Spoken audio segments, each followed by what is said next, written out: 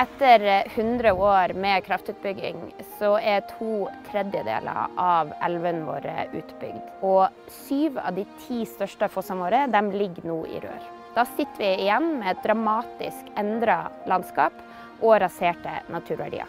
Derfor er tida nå inne for at vi tar vare på resten.